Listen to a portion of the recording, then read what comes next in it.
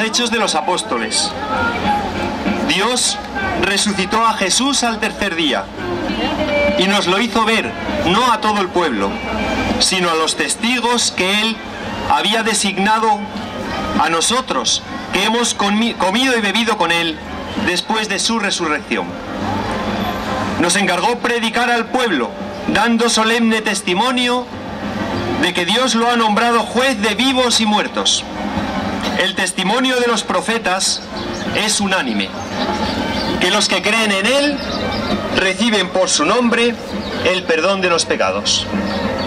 Palabra de Dios.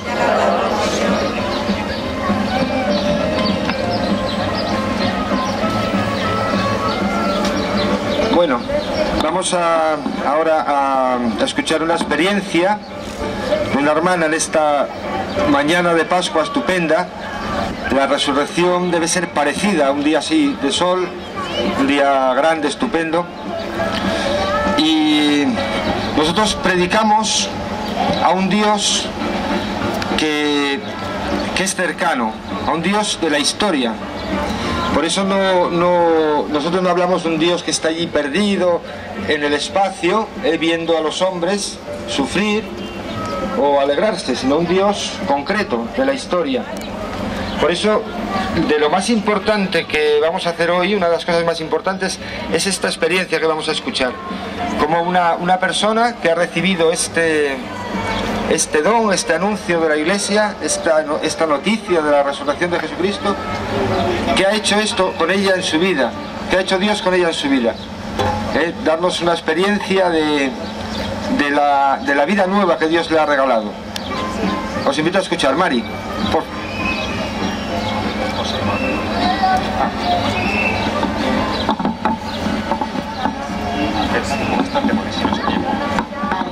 もしし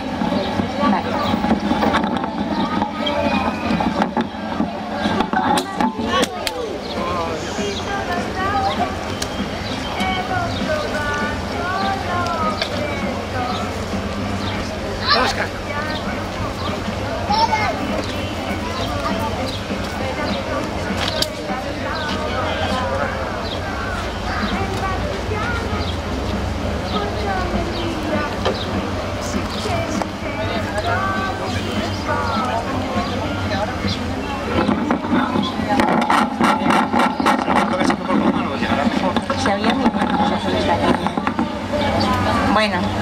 Hermanos, yo me llamo Mari, eh, soy soltera y nací en, una familia cristiana, católica, y llegué a esa familia ya cuando mis padres ya eran muy mayores y ya ni me esperaba.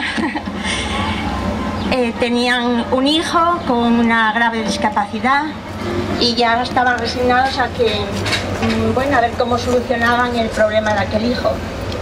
Cuando llegué, pues lo consideraron, mi madre sobre todo lo consideró como una respuesta a sus súplicas, ¿no?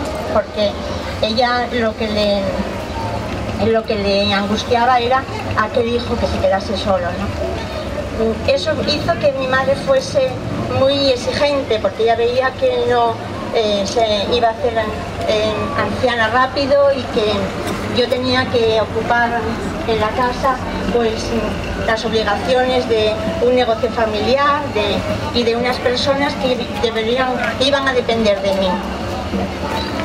Eh, en este tiempo mi conocimiento de Dios era de un Dios que existía, tuve la gran suerte de que de que Él me cuidó y nunca tuve duda de la existencia de Dios, pero era un Dios lejano, un Dios que, que estaba ahí con el palo levantado esperando a ver cómo me equivocaba y darme con el palo, ¿no? Era un Dios que me inculcaron que estaba eh, esperando a que yo me equivocase para castigarme.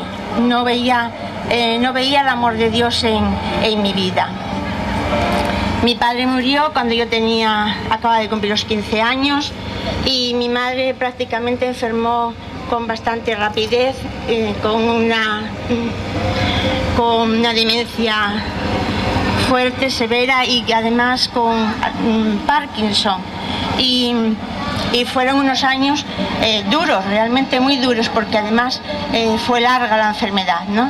Y durante ese tiempo seguí sin dudar de la, de la existencia de Dios. Él me lo concedió.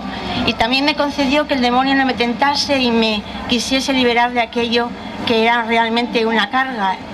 Y porque yo era joven, lo normal era que eh, me mm, quisiese salir, distraerme y a mí eh, mm, mi madre y mi hermano y una señora mayor que teníamos que me cuidó desde, pequeña,